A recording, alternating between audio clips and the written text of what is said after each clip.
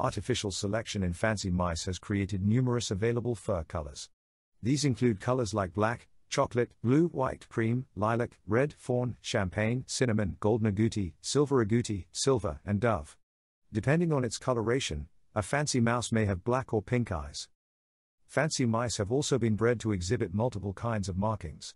Which of these markings are standardized and what those standards are, can vary from club to club.